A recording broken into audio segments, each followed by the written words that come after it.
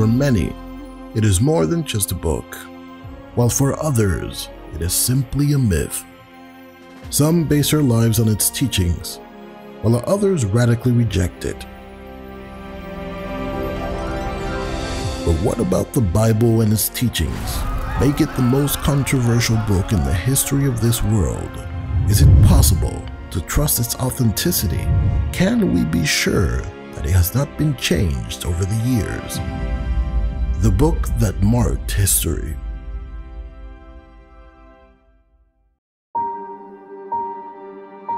One day, when he was sitting at a place like this near the Sea of Galilee, Jesus said to his disciple, Therefore, every scribe which is instructed into the kingdom of heaven is like unto a man that is an householder, which bringeth forth out of his treasure things of new and old. Matthew 13 52. The Word of God is the treasure that Jesus spoke about. And he spoke not only about all things, he also spoke words that were recorded in the New Testament. He presented both old and new things. The old things refer to that which is found in the Old Testament, in the Hebrew Bible, which begins its accounts with the creation of the world and man. I am really fascinated by old stuff. I had bought antiques on eBay and found other things in flea market. The question I often struggle with is, how old is this object that I just bought? Then I start my research which sometimes leads to fascinating results, especially if I'm able to find out how old the things I bought really is. But it can also be disappointed when you cannot find what are you looking for, like the date when an object was made. Can we also date back to the beginning of the writing of the Bible? Do we know anything about the accuracy and faithfulness of what we hold in our hands to the original text? To find the answer to this question, we need to take a quick look back in time.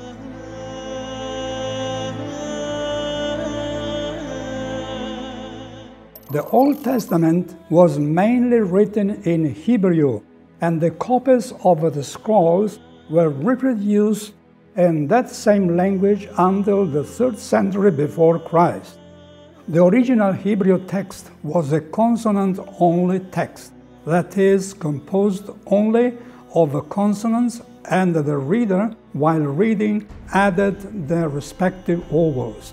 There is a story about a group of 72 translators, six for each tribe of Israel, who worked independently to translate the Old Testament from Hebrew into Greek. This was possibly carried out in Alexandria, Egypt, because King Ptolemy II Philadelphus wanted a Greek copy of the Hebrew Bible for the famous laborer there. This Greek translation of the Old Testament is called the Septuagint, meaning the translation of the 70. The Jews later abandoned the use of the Septuagint. They rejected it at the Council of Yamnia about 90 CE. But early Christians, as explained in the previous video, kept using it. No complete manuscript of the Septuagint exists today. There are only Latin translation of it and papyrus. From the Rylands Papyrus 458, which is the oldest manuscript of the Septuagint, only eight small fragments containing some chapters of the book of Deuteronomy are left. Moving forward, the next Hebrew texts we find are the Masoretic texts, that is, the Codex Hilleli, Leningrad Codex, and Aleppo Codex. The name Masoretic comes from the word Masorete from Mazora, meaning tradition. The Masoretes were a special group of scribes who were entrusted through the centuries with the difficult work of making copies of the Hebrew Bible. The enormous service that they performed is strictly connected to the Hebrew language, which uses no vowels.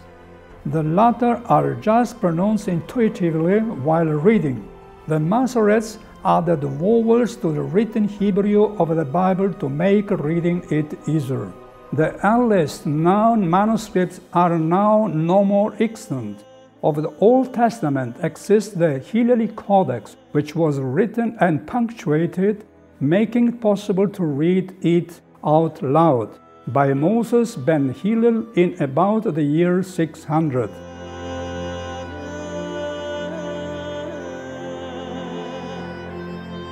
The Leningrad Codex, or Codex L, is the oldest complete manuscript of the Hebrew Bible and can be seen in St. Petersburg at the Russian National Library. This manuscript was copied in Cairo, Egypt in AD 1008. The Leningrad Codex is linked to the Aleppo Codex. Both manuscripts form the base of the modern versions of the Jewish Bible. Here is another facsimile of an ancient Bible.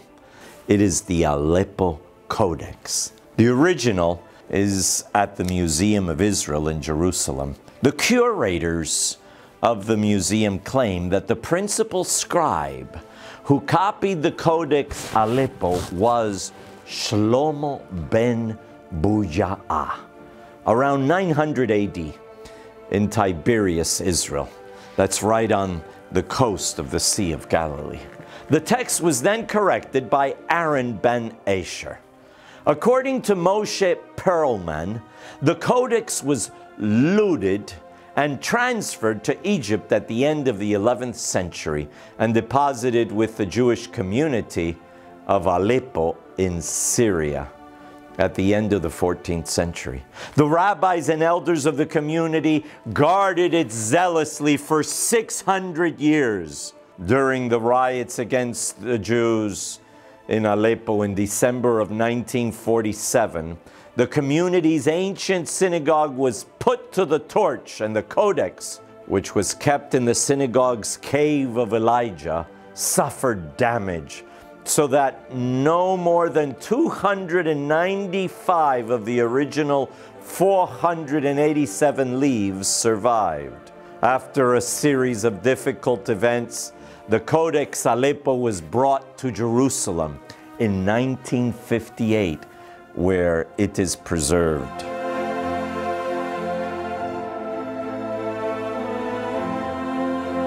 The shrine of the book is the building you can see here on my right. It was designed by the American Jewish architects Armand Philip Bartos and Frederick John Kiesler and was inaugurated in 1965 after seven years of construction work.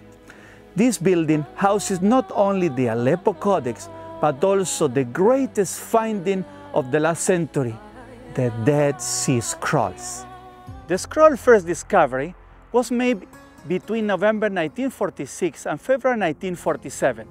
Europe was struggling to be rebuilt after World War II, and the State of Israel had not yet been created. But none of this mattered to a couple of young Bedouins, shepherds in the wilderness of Wadi Qumran. Muhammad Dib and his cousin Jum Mohammed were tending their flocks on the northwest shore of the Dead Sea when they noticed some caves. Mohammed Edip decided to throw a rock into one of them, which is known as cave number one, and hear the sound of breaking pots. This inspired him to have a look inside. Mohammed Edip found some large clay pots in this cave. Most of them were empty, but looking more closely, he saw some that they were not broken. He may have hoped to find treasure, but there were just some old scrolls, some of them wrapped in old blackened linen. The two young men took the scrolls to the camp and showed them around, trying to figure it out what to do with them. First, they looked to find an antique dealer in Bethlehem named Ibrahim Ija. He told them that the scrolls were worthless, because he thought that they were stolen from a synagogue. But the men did not give up and went to a nearby market where they were told to look for Kando, a cover and hobby antique dealer. Kando was intrigued by the scroll and asked the Bedouins to look for more. They found seven scrolls in total and sold out them to Kando, whom they also resold the scrolls to an archbishop of Syria Orthodox monastery of St. Mark in Jerusalem, and three to Salahi, another antique dealer, for seven Jordan pounds, about $340. These three scrolls ended up in the hand of a professor, Sukenik, of the Hebrews University. He wrote to a following after the first saw a fragment of the rolls. My hands shook as I started to unwrap one of them. I read a few sentences. It was written in beautiful biblical Hebrew. The language was like that of the Psalms, but the text was unknown to me. I looked and looked and suddenly had the feeling that I was privileged by destiny to gaze upon a Hebrew scroll which had not been read for more than 2,000 years. In 1947, the scrolls caught the attention of John C. Trever of the American School of Oriental Research. He noted several similarities between one of the scrolls and the Nash Papyrus. The Nash Papyrus is a fragment from the second century before Christ, containing the Ten Commandments in Hebrew that Dr. Nash purchased in 1903. Up until this new discovery, that papyrus was the oldest Hebrew Bible fragment that was known. And Trever quickly began his research by interviewing the Bedouins who had found the new scrolls. The first press release about the discovery were published by Yale University on April 10, 1948, and they stated the following. The earliest known manuscript of the entire biblical book of Isaiah from the Old Testament has been discovered in Palestine. It was announced today by Professor Miller Burrows of Yale University, the director of the American Schools of Oriental Research in Jerusalem. In addition, three other unpublished ancient Hebrew manuscripts have been brought to light by scholars in the Holy Land. Two of them have been identified and translated, while the third still challenges recognition. Archaeologists first tried to identify the caves where the Bedouins had found the first seven scroll. and then in 1951 the first excavation took place which continued until 1956. 11 caves were identified as containing jars and old scrolls. From 1947 to 1956, some 950 different scrolls were discovered. A 12th cave was identified in 2017, even though no new scrolls were found. In 2021, more fragments of scrolls were found in the Cave of Horror, so named because in 1960s 40 human skeletons were found in that same cave, remains of people who starved to death during the Bar Kokhba revolt against the Roman in 132 after Christ. Archaeologists are still searching the Judea desert for more such treasures.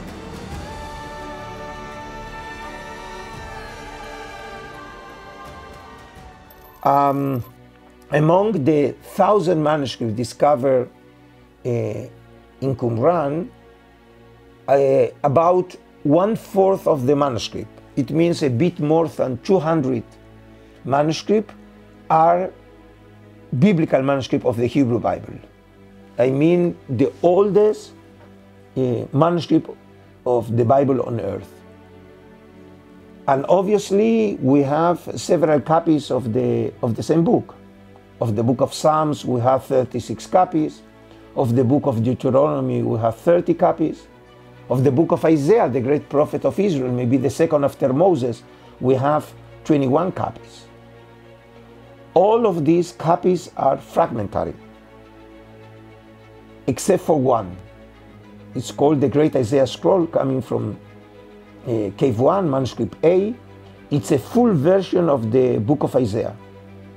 Uh, the Book of Isaiah is a very large book. This manuscript is the second largest scroll discovered in Qumran, more than seven meters of a running scroll. And this manuscript contains all the 66 chapters of the book of Isaiah as we know from the Masoretic version. Uh, so, in this sense, this is the oldest book of Isaiah on earth and the oldest uh, book any complete shape of the Hebrew Bible. Three copies of the book of Deuteronomy were discovered as well as one copy of the book of Ezra.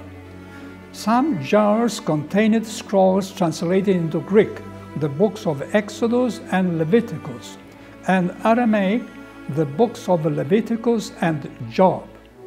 The preservation of these ancient artifacts was possible because of the very unique condition of the Dead Sea area. The Judean desert is situated 400 meters below sea level, and the climate is consistently arid with stable humidity and temperature.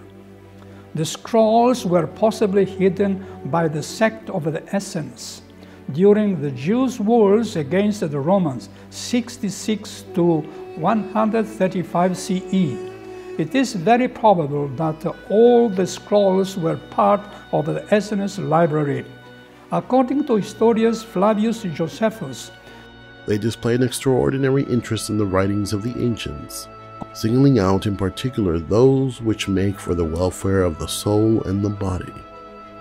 In the communal center at Khirbet Qumran is a scriptorium on the upper floor where possibly most of the scrolls were written by scribes.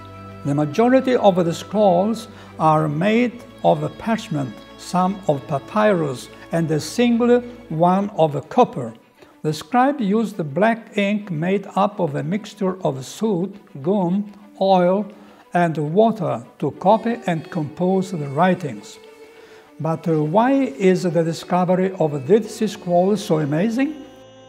We have manuscript, uh, there is a fragment from the book of Samuel, chapter uh, from K4. Um, it's in, from the second half of 3rd century BC. So in total we have uh, 300 years of manuscript. The oldest are coming from 250 BC, the youngest scroll from the middle of 1st century CE. So more or less 300 years of manuscript. And, and in this sense, um, the Qumran discovery give us a new perspective about the development of the Hebrew Bible. The analysis also looked at the findings' numismatic value, this being the study of coins and money. In fact, the caves not only contained jars with scrolls, but also with everyday tools, such as coins. Some studies are still ongoing as part of the latest dating project of the University of Groningen, Netherlands. Preliminary results are confirming the assessments of the previous researchers. Some scrolls may even be older than what has been assumed up until now. In fact, those scrolls are the oldest Hebrew scrolls of the Bible ever discovered. Before the discovery of the Qumran scrolls, the oldest known manuscript of the Hebrew Bible was the Leningrad Codex, which was written in Egypt in AD 1008. With the discovery of the Qumran scrolls, this date was traced back more than 1000 years, since many of the Dead Sea scrolls date from between the first and third century before Christ. What an incredible thing it is to have Old Testament Bible scrolls that date back to times even before Christ's life on earth the book of Isaiah can be compared over a 1,000 year period by analyzing it between the Codex Aleppo, written in 900 AD, to the Isaiah Qumran scroll of 200 BC. Let us look at one chapter in Isaiah. It's the prophetic chapter on the Messiah's death found in Isaiah 53. The great painter Vincent van Gogh immortalized the chapter on painting, on a painting of his father's Bible. According to the Hebrew scholar Miller Burrows, in his book, The Dead Sea Scrolls, of the 166 words in Isaiah 53, there are only 17 letters in question. Ten of these letters are simply a matter of spelling, which does not affect the sense. Four more letters are minor stylistic changes, such as conjunctions. The remaining three letters comprise the word light, which is added in verse 11 and does not affect the meaning. So the Hebrew scribes accurately and reliably transcribe the Word of God, and it has been preserved and unchanged over a thousand years.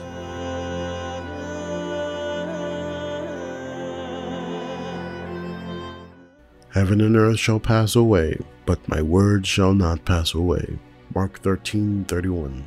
Jesus thus reassured his disciple and everyone who believe in him that despite what is going on around us, his word is going to remain real and unchanged.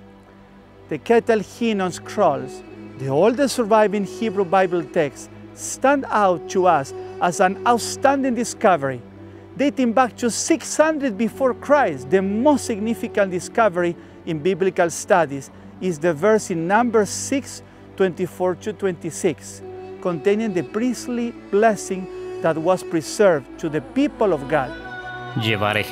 Adonai Yaer Adonai Panah Veleja Bijuneca. Isa Adonai Panah Veleja Vesem Leja Shalom. Isn't it amazing how the Lord allowed the preservation of this blessing to transcend history and impact lives till the present day? From a historical and archaeological perspective, we see that God has kept his hand over his word so that it can reach us today unchanged in its meaning. Jesus does reassure everyone that His promises, His prophecies, and His loving words still have enormous value and that He is not going to change them. That we can trust Him and rely on Him. The presented archaeological proofs and many others clearly demonstrate that the Bible we have hasn't been falsified, even though many centuries had passed since it was written. We can confidently trust in the Word of God because the Lord has kept it safe and accurate throughout the ages. The Lord wants to give everyone His peace in every moment of life. So when it seems as everything is falling apart, doesn't lose hope. God has the tool to rescue your life. Pick up your Bible and take time to, like an archaeologist, discover the words that God is speaking to you. In the Bible, you will find an inexhaustible fountain that grants us hope, purpose, and life, bringing the rescue every human needs. It is truly the book that can mark history and still change life. In our next video, we will see more archaeological evidence that prove the accuracy of the Bible. Don't miss out the next episode. If you have enjoyed this video and desire to know more about this book that has changed so many lives, then we invite you to register for the free Bible course at the feet of Jesus. Come and enjoy the abundance promises, lessons, and values that the Word of God grants to us. This Bible course is composed of 30 lessons divided into three levels that will give you an ample opportunity to personally discover biblical truths. Register today at BibleWell.com and start the amazing Bible journey.